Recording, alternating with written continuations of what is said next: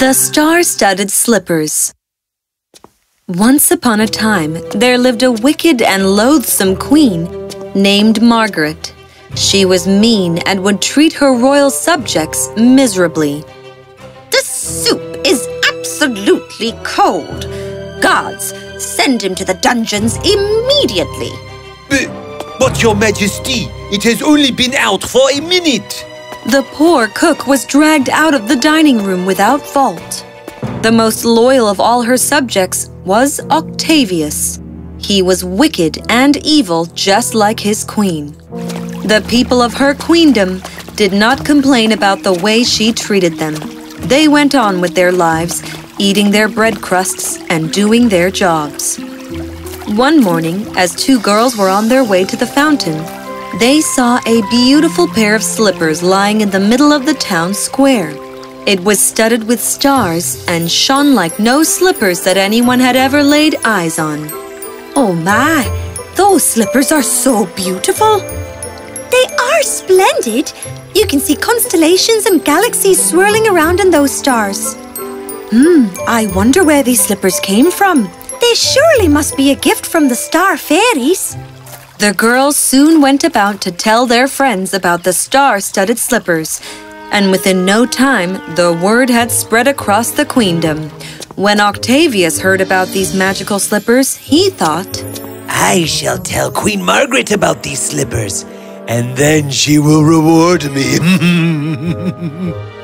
Octavius went up to the queen. He told her about the magical slippers and how beautiful they were. Hearing this, Queen Margaret was elated and wanted to gain possession of the slippers at once. Go and get me those slippers right this instant, Octavius. I'm afraid I can't, Your Majesty. Did you just say can't to me? How dare you refuse your queen? Guards, have him locked in the dungeons.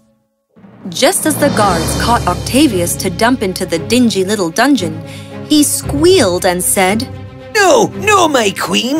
The slippers can't be caught! Wait!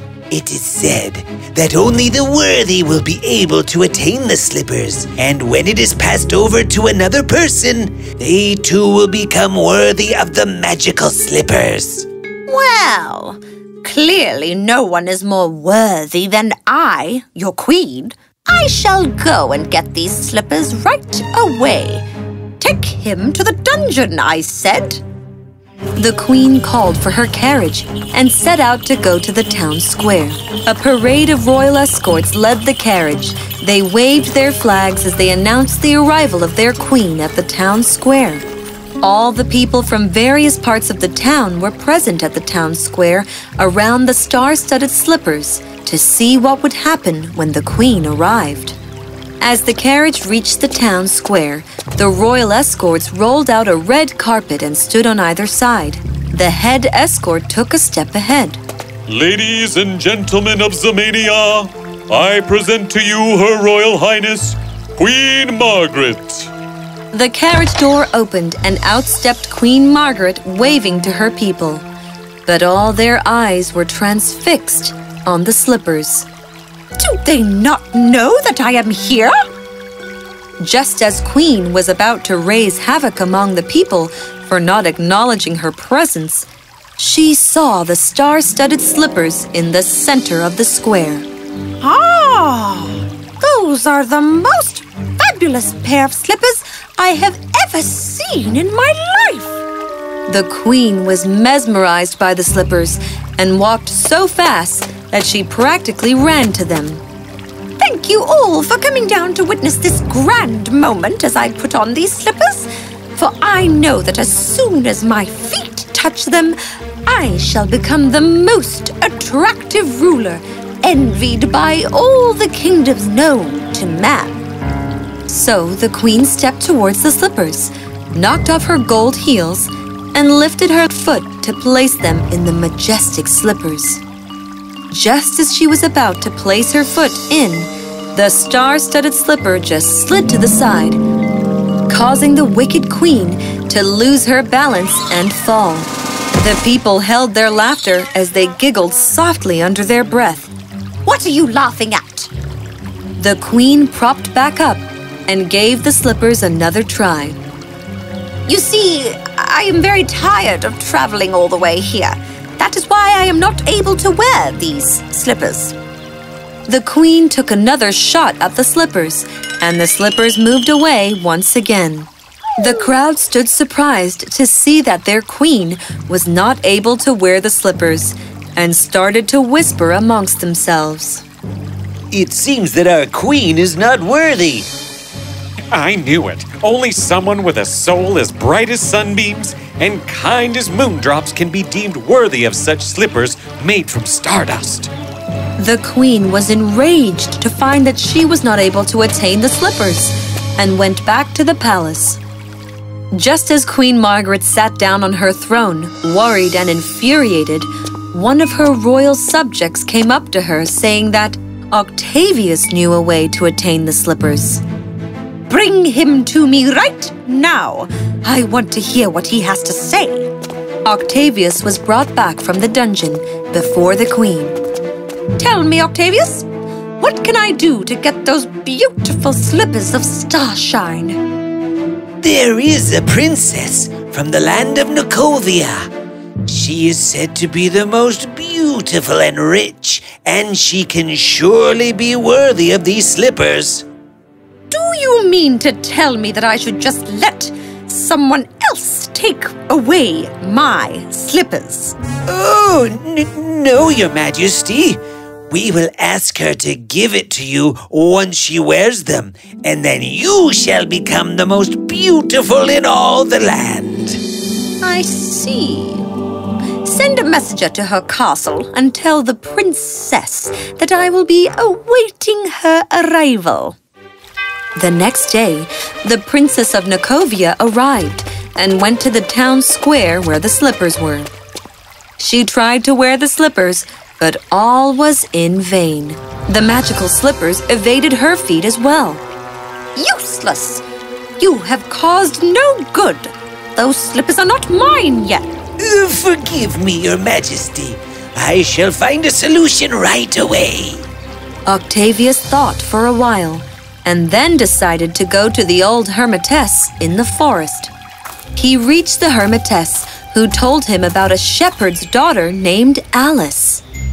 Alice is said to be the kindest person in the entire nation, with a soul as bright as sunbeams and as kind as moondrops can be. Well, that is exactly who I have been searching for. Octavius thanked the hermitess and went on to find the young shepherdess. When he finally found her, he narrated everything to her Alice agreed to help the queen. Together, they went to the town square. On seeing the slippers, Alice was very skeptical. Oh, I don't know if I will be able to do this. They look like they're too big to fit me. All the people stood around eagerly waiting for Alice to wear the mystical slippers.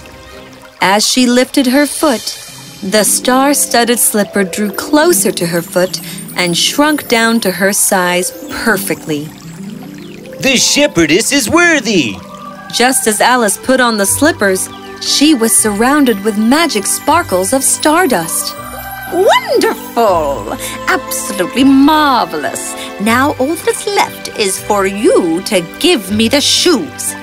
Fast. Alice nodded and happily handed over the slippers to the queen. Just as Queen Margaret wore the slippers, the magical sparkles of stardust surrounded her and the shepherdess. The queen was now wearing the shepherdess's clothes, and Alice found herself wearing the queen's royal attire. What have you done? I command you to reverse this at once! You are not the queen anymore! Guards, send the poor woman to the dungeons immediately! Traitor!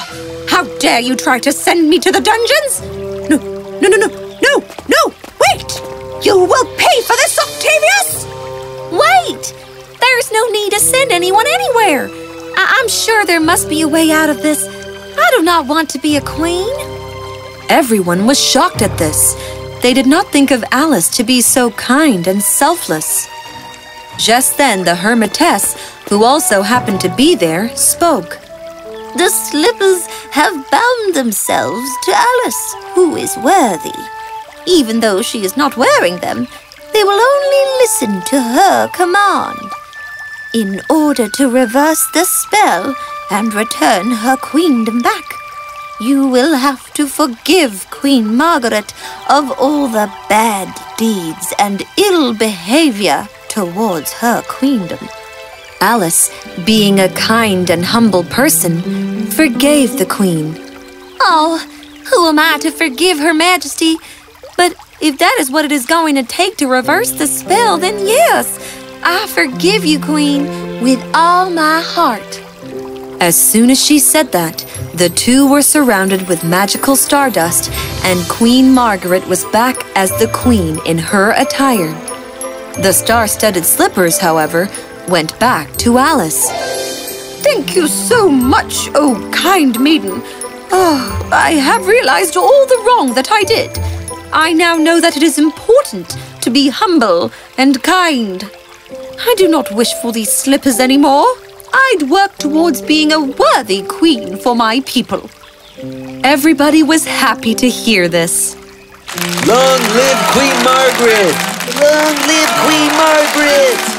Long live Queen Margaret! Queen Margaret was grateful and gave all the people of her queendom a pair of shoes and ample food to feed all the families, and the entire queendom of Zemania lived happily ever after. Meanwhile, Alice gave back the star studded slippers, and they were kept at the town square.